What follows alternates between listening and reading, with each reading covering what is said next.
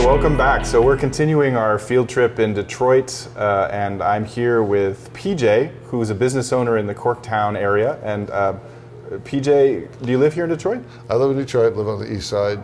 Can you tell us about this business that we're in? Uh, this is PJ's Lager House. It has been open as a, a bar even during Prohibition from about 1915. It's never closed. I've owned it for about 12 years. There's three previous owners.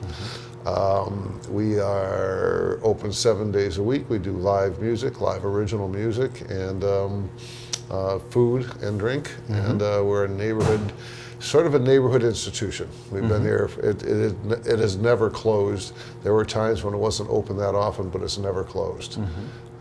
So you're the proprietor of this historic Detroit institution, uh, the owner, and um, we're doing a project on Project Greenlight. I understand you're familiar with Project Greenlight, so I don't have to introduce it to you. No. Is that right? Okay, so um, so uh, I know that the there's a business association here in Corktown, right? And that Yes. uh, you guys were made an offer about whether you wanted to be a green light corridor. Can you tell me a little about that? Well, I think uh, I, someone from the city, I believe, approached us and said, "Look, we'd like to make uh, Michigan Avenue a green light corridor. Um, we need to get four or five businesses within a smaller area to do the first pod."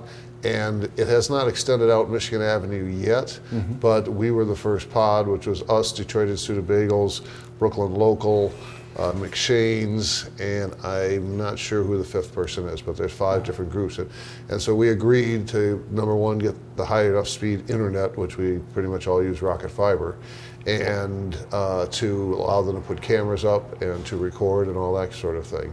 And um, uh, So can you tell me what what was the deal with Rocket Fiber? I, I heard this from another business owner as well. Uh, you know, you asked for details, and I'm not quite sure I remember them all. I know that they were involved, and they offered us the their um, uh, optic fiber optic uh, internet service, faster internet service. And so now today we have our internet service is Rocket Fiber, our TV is Comcast, and uh, and Greenlight is a separate entity from that. I see. But there is. But it uh, was bundled together, I believe. Yes, that was the deal. Yeah, it was originally bundled together. Now it's kind of separated out. see. So, but so, you know, we have uh, we're happy with the Rocket Fiber uh, as having that high speed, inter- higher speed internet that Mm-hmm. works really well. It doesn't go down that often, and it works very, very, well with the green light. It's integrated. Well, as a business owner, can you comment on your experience with Project Greenlight? Yeah, it been? for the most part, it's been pretty good. I mean, there's initial, you know, getting to know each other stage of, of dating. Uh, they originally wanted to put cameras inside the bar, and I said, no, that's not going to happen. Mm-hmm. And uh, but in general, they uh, have been very good. Um, they're responsive. If people call from here and say mm-hmm. something's happened, I'm at a green light location, they can look at it much more quickly as mm-hmm. ascertained. My brother was here one time, uh, had never driven a push button car before, mm-hmm. and left his key fob in the car and got his car stolen. Oh, no. And so it took a couple trips to the police station. This is the first when it first all just came on.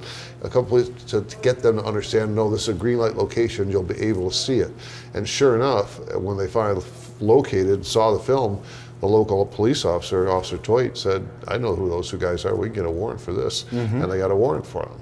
And so people, the thieves, know that we have green light, know that we pay attention to it, and know that they're if they're familiar to the territory and they they're on film, they're much more likely to at least get arrested. Maybe they don't go to jail, maybe they don't spend any time in jail, but at least they know someone's watching and they may go someplace else. Mm-hmm. It's it seems to have helped.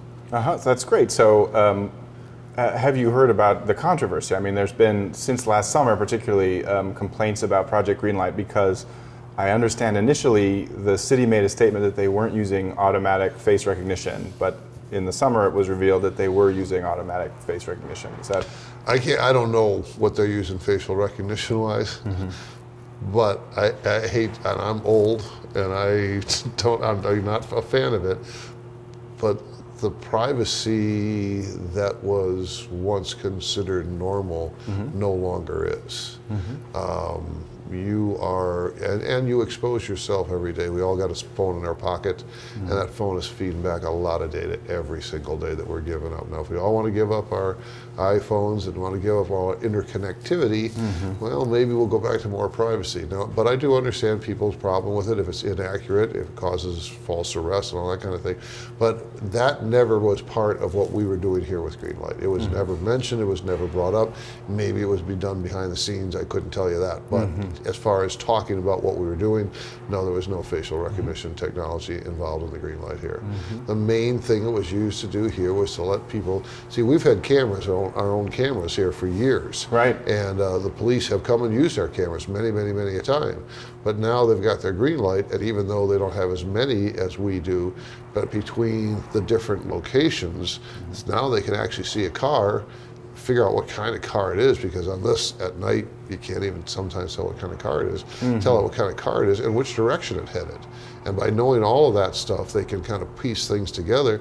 And, and now with en- enough of these green light cameras, they can actually trace a, a track that someone takes off, and they may find find them mm-hmm. as a result. Mm-hmm. So uh, it has definitely made a difference. And I don't I don't own any of the parking lots around here, but at night when we have music, we have a full house. People do come and occupy the lots, and um, and in all honesty, I think uh, it has the thieves have gone away more so than the opportunity. The opportunity is still there, but they know that if they take a shot at this, it's very likely they're going to be recognized. And if they have any chance of being recognized by the local police officer, the hassle of getting arrested is the hassle of getting arrested. Uh-huh. Well, so um, one thing that I heard from other people when I was looking into Project Greenlight is that some business owners, even though they support the project, were frustrated that they felt it was an additional public safety tax. Like they wanted the they wanted the city to provide this service as a part of taxation and not as an extra fee for four or five thousand dollars. Well, if we're going to get into a discussion of taxation in the city of Detroit, yeah, we get a long discussion about that. Uh, I really, it's one of these things. I have lived in Indian Village for 24 years. Indian Village is a very, very nice neighborhood, but Indian Village does a lot of that for themselves and always have because they can, because they can create a, a scene that will, like the Indian Village Home and Garden Tour, that brings money into the neighborhood. That money gets spent in the neighborhood. Uh, you have people who can afford to spend disposable income on something like uh, historically restored streetlights, like we did last two years ago. Um, we got all our streetlights that are getting just replaced with new streetlights. We have his, we restored the historic ones, and we still have those up there. We also have to deal with the you know the pain of uh, not pain the the pain in the neck of uh, being a historic district and having to follow the rules there. But I've always been kind of used to it as long as I've been back in Detroit, which is I'm on one of my 25th year. Is if you really want something done, go ahead and do it. You know, you want to tear down tear down that, go ahead and tear it down. You want to build something, but so I really kind of feel like in the green light situation, yeah, everybody didn't sign on. Uh, th those of us here on this little group of blocks did, and I'm glad they did because I've always been an advocate. But um, to me, I got the the uh, when I first bought this place and I got cars broken into, I just thought they were crimes of opportunity. I didn't realize these guys are professionals. They're out regularly, got their regular patrols, know where they're going to go, know how they're breaking in, know what they're looking for.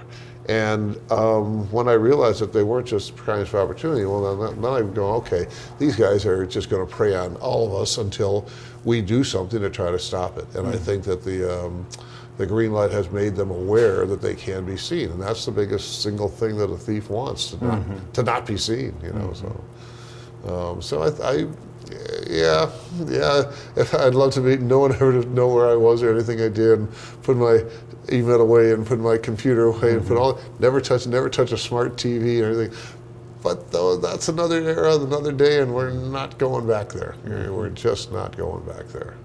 You know, I, so- thanks so much. I got it. So um, the only other thing I'd ask is: Is there anything that I should ask you, or that you want to share about it that I didn't ask you about? Uh, no, I think I, I, I for for what it is used for here, uh, Greenlight has been a really uh, a big a big plus, and I appreciate it. Um, I appreciate. Uh, I mean, we have a, a patrol officer who really patrols this neighborhood pretty regularly, and I appreciate that too. I think, and now of course I'm speaking Because put it, I'm speaking because I live in two of the safest places in Detroit. Corktown's very safe. Indianville is very safe.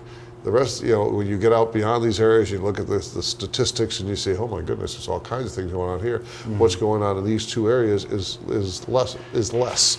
And I think part of it is lighting, it's lighting in general, yeah. vigilance, and then things like, especially using technology to kind of get a step ahead because mm-hmm. the car, car, thieves are not, you know, super technologically proficient. They're mm-hmm. just doing a doing a gig, you know. Mm-hmm. Whereas a little more technology, you can kind of step out ahead of them maybe, and maybe stop them or at least get them to refocus in other areas mm-hmm. because. Uh, we, I hope someday that the population returns to this area of town. It's still Corktown is still, you know, it's got all this new development stuff going on, but right now we're still, these are the first new housing that we've had in this neighborhood in 40 years, you mm-hmm. know, and so it's been a very stagnant, you know, about now if we fill up all those apartments, we fill up all those condominiums, and they build some more, well, all of a sudden we'll have more people here, and, um, and more people seem to, to push push out. It, it's spreading. I mean, it, it, people move to new neighborhoods, pick up that house that's